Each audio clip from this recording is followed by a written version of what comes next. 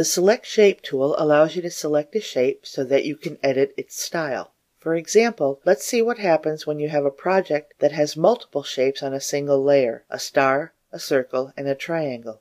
Now you select one of the shapes in the window, a star. Notice that a checkerboard pattern appears over the shape and fill of the selected shape to indicate that it's selected. Now you can use the Style window to modify the fill or stroke colors or change the width of the stroke. So here we'll change the fill color of the star. Now we select the circle and use the Style window to change the stroke color from black to green. After you select the stroke color, notice the bar at the right of the color bar in the color picker.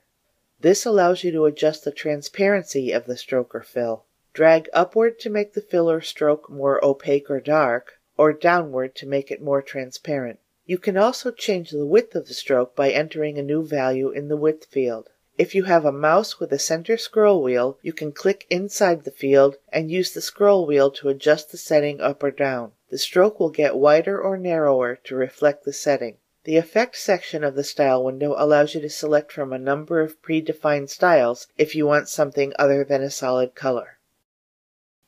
All of the settings in the Style window can be animated so that the changes occur over time. For example, you can select the triangle and move to a later frame in the timeline to change its color.